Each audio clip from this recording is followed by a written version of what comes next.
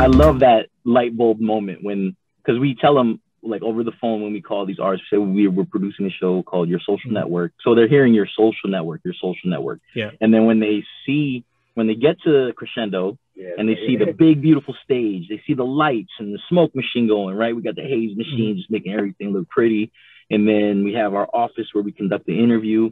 And then we have the multicam set up, dedicated sound engineer, lighting Mhm. technicians just making everything look spectacular. Yeah, yeah. It's like, whoa, hold up. Boy, I had no idea it was like this. And then, like when we explain the whole soul logo, Mhm.